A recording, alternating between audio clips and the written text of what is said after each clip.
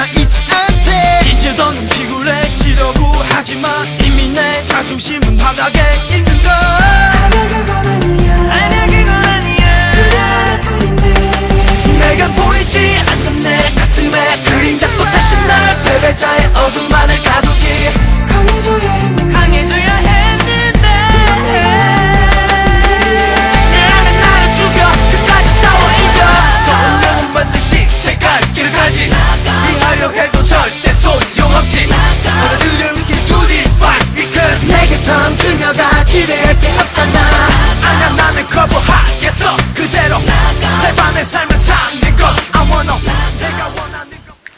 First thing you'll need is a long piece of string.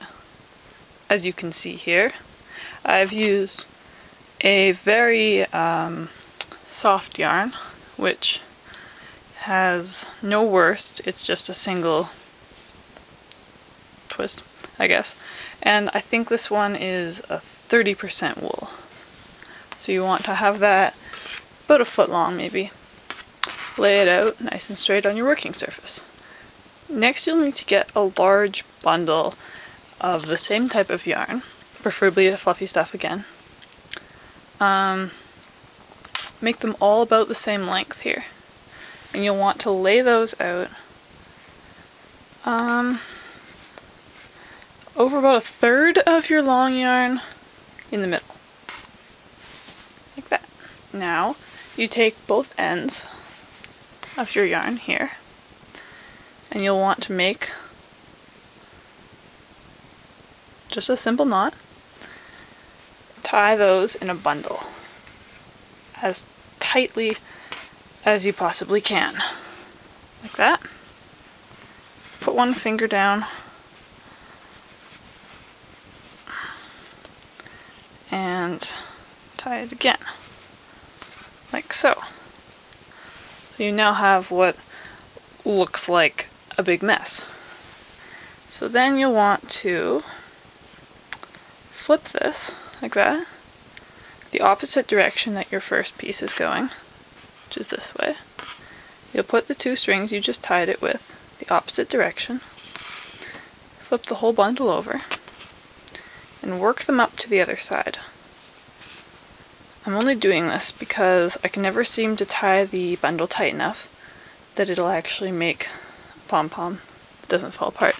So here we're tying it again, like so, as tight as you can again, and my yarn just broke.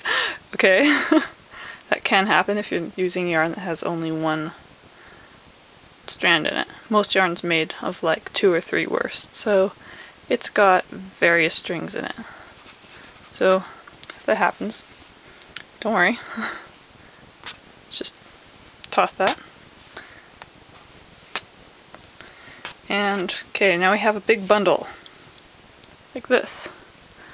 Could resemble an octopus, you never know. So, I'll be wanting to get some scissors. And probably trim off various pieces of it. It's really hard to get all the string the same length. I was just using scrap yarn to make this one. It's a good idea to use scraps to test making pom-poms on because doesn't matter really what they end up looking like in the end. It's pretty much just a big puffy thing. Okay, so I think they're about all the same length here. This is why I only used uh, yarn that had a single twist to it. That's a very big yarn. You'll want to take each strand here and begin pulling it apart like this. See? Starts making it kind of fluffy, right? Like that. So we're going to do that to the entire project.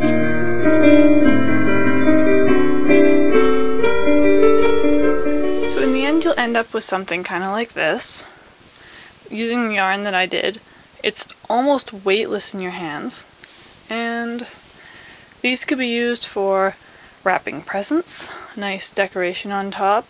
Um, you could put a bobby pin through them. The yarn actually holds it fairly well and affix it to your hair, which is what I did today, actually. And yeah, um, to see various ways this could be worn, I'll have various pictures up on my blog. Right there, unraveltheturtle.blogspot.com. Um, hope you guys enjoyed this little project.